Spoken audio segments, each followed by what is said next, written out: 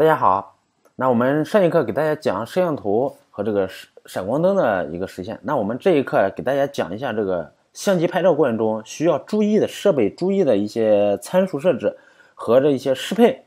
那好，那我们看先看一下今天的课时，也就是说自定义相机当中，在这个安卓市场的设备啊，它是型号非常多，厂家修改系统的 API 也是修改的非常多，然后。所以我们为了自定相机能够适配大部分的机型，所以说在开发当中有一些细节，我们必须要去注意一下。然后这样的话，就是在拍照过程中，假如说出现了中断，这时候你从别的界面再回来，这时候我们得让这个预览它再次展开，继续持续捕捉。所以说这时候恢复这个拍照，那也是我们需要去掌握的一个。好，那我们先看一下第一个摄像适配。摄像适配就是说，你在这个拍照过程中，相机拍照过程中，它有时候会存在一些参数不配置，就会达到一个有问题。就比如说三星手机，就典型的。然后我们处理方法，第一个是在 Activity 当中回调这个 Unconfigure，configure 这个 Changes，表示随着摄像机系统 API 的变化而变换，就是适配它本身的这个 configure 的设置。然后第二个就是 manifest 当中，在相机所对应的 activity 的标签上加上这个 configuration 这个属性。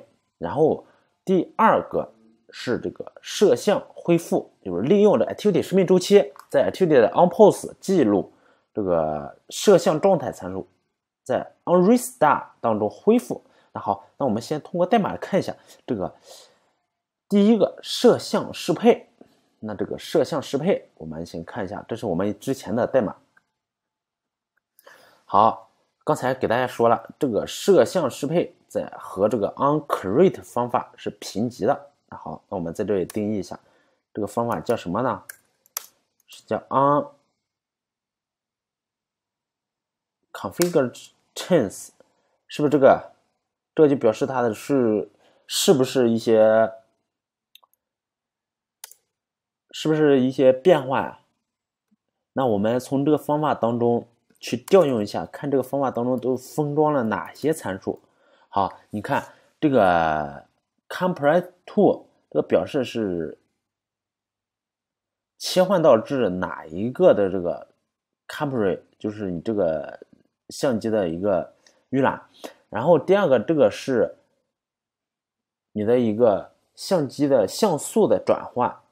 就是屏幕像素的转换，然后下面这一块就是获取的你这个当前的位置啊，你就比如说这个缩进的大小啊，还有一些这个表示的是不是全屏旋转，或是不是你键盘进来了，是不是键盘弹出来了等等这类的，反正这类的都是你本身的一个参数，就是当中底下你看还有底下设置的。好多参数，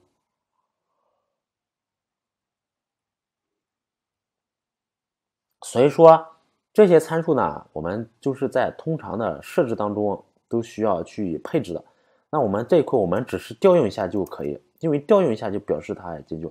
然后第二个，我们是不是需要打开这个 manifest 这一块？我给配置了，就叫 configure change，这个一定要配置。为什么强调？它有两个作。一个是刚才我给大家讲的这个摄像的，就是转向吧，就比如说垂直，它就是垂直，呃，水平就是水平，而不是说你水平，但是默认打开，默认了是垂直的，然后再旋转成水平的，这样的话就导致画面捕捉的这个相机的生命周期就是二次创建，销毁二次创建，所以说这个的话就不太好，这个参数就会变化。然后还有一个，还有一个表示什么？表示的是这个，我们刚才说了，适配这个界面，就适配这个应用的 API，它这个变化 config 就是参数配置，然后 changes 就是变化改变，就是参数的改变，它随着这我们就是当中有一些 keybox 啊。然后一些输入法呀、屏幕的转向啊等等这类的，它都是随这个变化。所以说这句话无论如何要习惯性的加上，每一个都得加上这一块，因为加上这个，它就是随着你是屏幕转向而转向，所以说这一块我们就不多讲，这个大家已经养成习惯。好，这是两个适配的需要注意小细节。